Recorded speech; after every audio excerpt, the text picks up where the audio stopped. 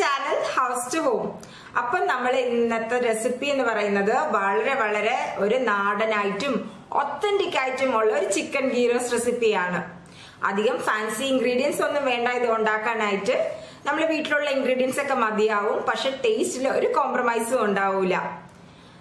So ഉറപ്പായിട്ട് നിങ്ങൾ ഈ റെസിപ്പി ട്രൈ ചെയ്ത് നോക്കണം. ട്രൈ ചെയ്തിട്ട് നിങ്ങളെ റിവ്യൂസ് കമന്റ്സ് എന്തായാലും എന്നോട് ഷെയർ ചെയ്യാൻ മറക്കരുത്.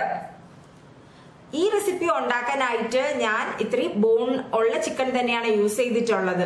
അപ്പം നാടനായിട്ടുള്ള എന്ത് റെസിപ്പി ആയാലും അത് കറികളായാലും ശരി തന്നെ വറവായാലും റോസ്റ്റ് ആയാലും ശരി തന്നെ ചിക്കൻ ബോണോട് ഉള്ളതായിട്ട് ചൂസ് ചെയ്യുക എന്നാലേ അതിന്റെ ഒരു ടേസ്റ്റ് നമുക്ക് കിട്ടത്തുള്ളൂ. പിന്നെ എന്റെ ആദ്യത്തെ എപ്പിസോഡ് അതായത് ഹൗസ് ടു ഹോം മലയാളം ചാനലിന്റെ ആദ്യത്തെ എപ്പിസോഡ് എന്റെ ഇൻട്രൊഡക്ഷൻ എപ്പിസോഡ് ആയിരുന്നു. കുറെ പേര് അതിന്റെ കമാൻഡ് ചെയ്തിട്ടുണ്ടായിരുന്നു വിഷസ് എല്ലാം പറഞ്ഞിട്ടുണ്ടായിരുന്നു. അപ്പൊ എല്ലാം എനിക്ക് കിട്ടിയിട്ടുണ്ട് കേട്ടോ. മാത്രമല്ല ഫേസ്ബുക്ക് പേജിലും ഇൻസ്റ്റാഗ്രാം ഇൻസ്റ്റാഗ്രാം പേജസിലും കൂടെ തന്നെ കുറെ പേര് കമാൻഡ് ചെയ്തിട്ടുണ്ടായിരുന്നു. അപ്പൊ നിങ്ങളെ കൺഗ്രാറ്റ്സും ബെസ്റ്റ് വിഷസും എല്ലാം എനിക്കിപ്പോ കിട്ടിയിട്ടുണ്ട്. പിന്നെ എന്റെ ഫേസ്ബുക്കിലും ഇൻസ്റ്റാഗ്രാമിലും കൂടെ എന്നെ ഫോളോ ചെയ്തോളൂ. അതിന്റെ ലിങ്ക്സ് എല്ലാം താഴെ ഡിസ്ക്രിപ്ഷൻ ബോക്സിൽ തരാം. അപ്പൊ നമുക്ക് ഇന്നത്തെ എപ്പിസോഡിലേക്ക് പോവാം. അപ്പൊ ഈ എപ്പിസോഡിന്റെ നടുക്ക് ഒരു ഗിവ് അവേ അനൗൺസ്മെന്റ് ഉണ്ട്. സോ ഈ എപ്പിസോഡ് ഫുള്ളായിട്ട് അങ്ങ് കണ്ടു? ഞാൻ ആദ്യം ഒരു പാൻ വെച്ചു. പാൻ ചൂടാകട്ടെ. നമ്മളിപ്പം കുറച്ച് ഹോൾ സ്പൈസസ് ചേർത്തിട്ട് വറുത്ത് പൊടിച്ച് അരച്ച് ചേർക്കാൻ പോകുന്നതാണ്. ആദ്യം തന്നെ ഒരു എട്ട് ചുമന്ന മുളകാണ് ഞാൻ ഇപ്പം ചേർക്കാൻ പോകുന്നത്. നിങ്ങൾക്ക് റെസിപ്പി നല്ല കളർഫുൾ ആയിരിക്കണം എന്നുണ്ടെങ്കിൽ കാശ്മീരി റെഡ് ചില്ലി ചേർത്തോളൂ. ഇതിന്റെ കൂടെ തന്നെ കുറച്ച് മല്ലി ചേർക്കാം. ഇപ്പം നമുക്ക് കുറച്ച് ഫിനൽ സീഡ്സും ജീരകവും കൂടി ചേർത്ത് കൊടുക്കാം.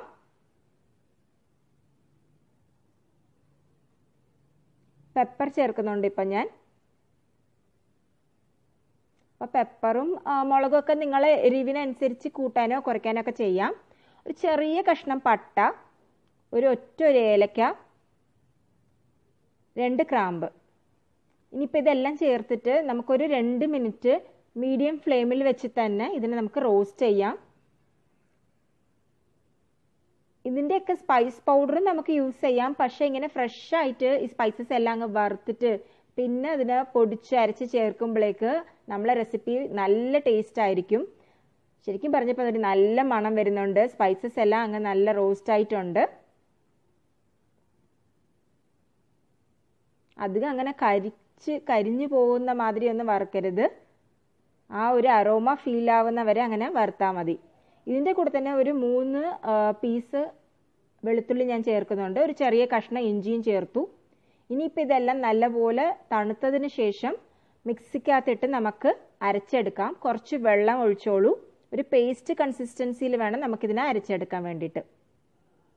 അപ്പം നല്ലപോലെ തണുക്കട്ട്. കണ്ടില്ലേ? ഇതാണ് അതിന്റെ കൺസിസ്റ്റൻസി ഇപ്പം മസാല എല്ലാം ഞാൻ മിക്സിക്കകത്ത് ഇട്ട് അരച്ചെടുത്തിട്ടുണ്ട്. ഒരു രണ്ട് ടേബിൾ സ്പൂൺ വെള്ളം ഒഴിച്ചു. അപ്പോൾ ഇതാണ് അതിന്റെ കൺസിസ്റ്റൻസി ഈ മസാലയിൽ വേണം നമ്മൾ ഇനി ചിക്കൻ മാരിനേറ്റ് ചെയ്യാൻ വേണ്ടിയിട്ട്. ഞാൻ ഇന്ന് എടുത്തിട്ടുള്ളത് ഒരു ഹാഫ് കെ ജി ചിക്കനാണ് നല്ല കുറച്ച് ബോണുള്ള ചിക്കൻ തന്നെയാണ്. ഇതിന്റെ കൂടെ ഞാനിപ്പം മഞ്ഞൾപ്പൊടിയും കുറച്ച് കാശ്മീരി റെഡ് ചില്ലി പൗഡറും ചേർക്കുന്നുണ്ട്. കാശ്മീരി റെഡ് ചില്ലി പൗഡർ ഓപ്ഷണലാണ് ഒരു കളർ കിട്ടാൻ വേണ്ടിയിട്ട് മാത്രം ചേർത്തുന്നേ ഉള്ളൂ. നിങ്ങൾക്ക് വേണ്ടെങ്കിൽ അത് അവോയ്ഡ് ചെയ്തോളൂ. ഇപ്പം ഇതിൽ നമുക്ക് കുറച്ച് ഉപ്പിട്ട് കൊടുക്കാം.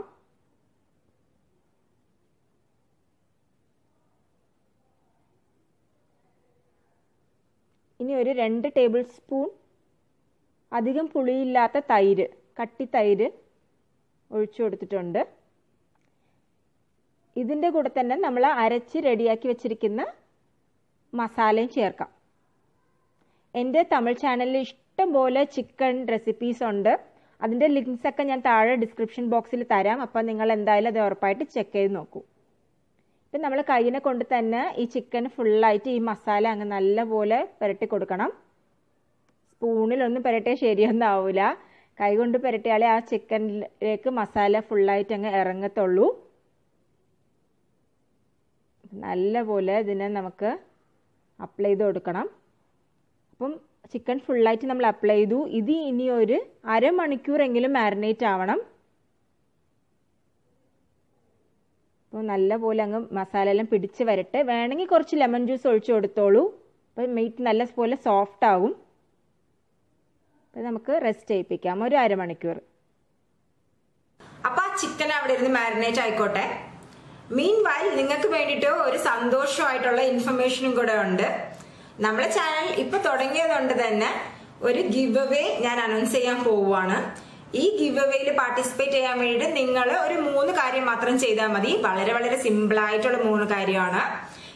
നമ്മളെ ചാനൽ സബ്സ്ക്രൈബ് ചെയ്യണം. ഈ എപ്പിസോഡിനെ ലൈക്ക് ചെയ്യണം. പിന്നെ ഈ എപ്പിസോഡിന്റെ താഴെ കമന്റ് ചെയ്യണം. വളരെ സിമ്പിൾ ആയിട്ടുള്ള ടാസ്ക് അല്ലേ? എല്ലാവർക്കും ചെയ്യാൻ പറ്റുന്നത് തന്നെയാണ്. ഇതിൽ നിന്ന് മൂന്ന് പേര് ഞാൻ സെലക്ട് ചെയ്യും. ഞാൻ എന്ന് പറഞ്ഞാൽ ഞാനല്ല.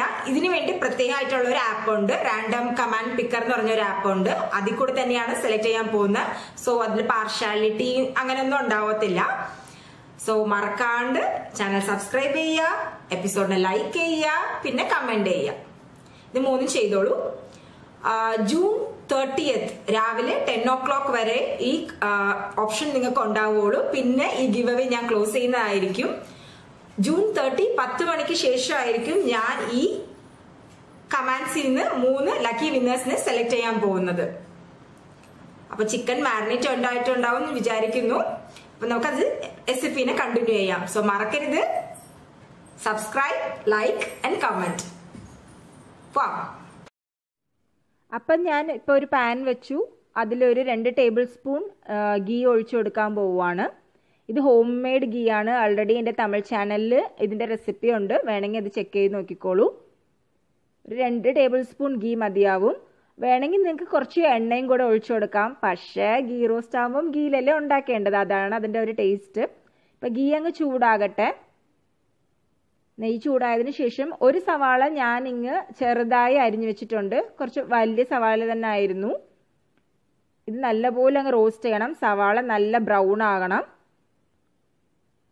അപ്പം അത് വേഗം ആകാൻ വേണ്ടിയിട്ട് ഞാൻ കുറച്ചൊന്ന് ഉപ്പിട്ട് കൊടുക്കാൻ പോവുകയാണ്. ആൾറെഡി ചിക്കന് ആവശ്യത്തിനുള്ള ഉപ്പ് നമ്മൾ ചേർത്ത് കൊടുത്തിട്ടുണ്ട്. അപ്പോൾ അത് ആലോചിച്ചിട്ട് വേണം അങ്ങ് ചേർക്കാൻ വേണ്ടിയിട്ട്.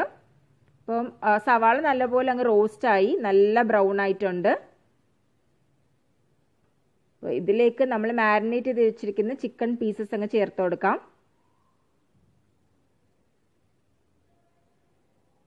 ഇനി ഇതൊരു ട്വന്റി മിനിറ്റ് എങ്കിലും നമ്മൾ മീഡിയം ഫ്ലെയിമിൽ തന്നെ വെച്ചിട്ട് റോസ്റ്റ് ചെയ്യേണ്ടതാണ്. വെള്ളമൊന്നും ചേർക്കേണ്ട ആവശ്യമൊന്നുമില്ല. ഓപ്പൺ ഫ്ലെയിമിൽ വെച്ച് തന്നെ അങ്ങ് റോസ്റ്റ് ചെയ്യാം. അപ്പോൾ മീഡിയം ഫ്ലെയിം അങ്ങ് മെയിന്റെയിൻ ചെയ്തോളൂ.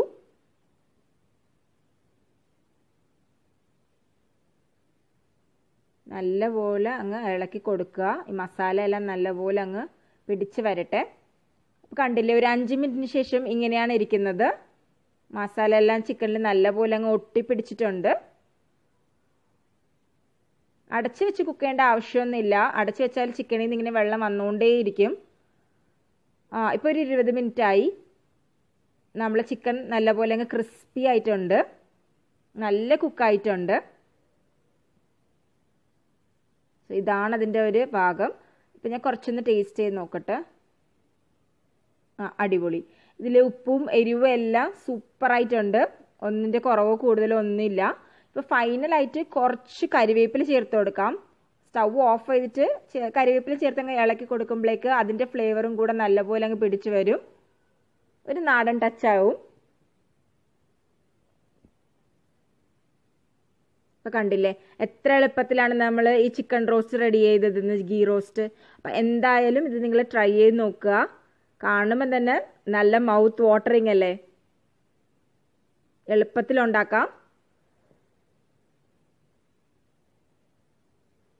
എല്ലാവർക്കും അപ്പൊ ഈ റെസിപ്പി നിങ്ങൾക്ക് എല്ലാവർക്കും ഇഷ്ടപ്പെട്ടിട്ടുണ്ടാവും ഞാൻ വിശ്വസിക്കുന്നു. എന്തായാലും ഇത് ട്രൈ ചെയ്ത് നോക്കണം. ട്രൈ ചെയ്തിട്ട് എന്തായാലും അഭിപ്രായം പറയാൻ ഒരിക്കലും മറക്കരുത്. ഗിവ് പാർട്ടിസിപ്പേറ്റ് ചെയ്യണം. കാരണം ആരാണ് ആ വിന്നർ എന്ന് അറിയാൻ വേണ്ടിട്ട് ഞാൻ ഇവിടെ ഭയങ്കര എക്സൈറ്റഡ് ആയിട്ട് കാത്തിരിപ്പുണ്ട്. ഈ കമാൻഡ്സ് എന്ന് പറയുന്നത് എന്ത് കമാൻഡ് വേണമെങ്കിലും ആവാം. അത് പോസിറ്റീവ് ആവാം നെഗറ്റീവ് ആവാം നിങ്ങളെ ഫീഡ്ബാക്സ് ആവാം ഇൻപുട്സ് ആവാം. എന്തായാലും എനിക്ക് സന്തോഷം തന്നെയാണ്. അപ്പോൾ ഉറപ്പായിട്ട് എല്ലാവരും പാർട്ടിസിപ്പേറ്റ് ചെയ്യുക. വീണ്ടും നിങ്ങളെ ഞാൻ കാണാൻ വരും. ഒരു ടേസ്റ്റി ആയിട്ടുള്ള റെസിപ്പിയിൽ കൂടെയോ അല്ലെങ്കിൽ ഒരു ഇൻട്രസ്റ്റിംഗ് ആയിട്ടുള്ള ബ്ലോഗോ എന്തോ എന്തോ ആണെങ്കിലും ആവാം. Thanks for watching house to home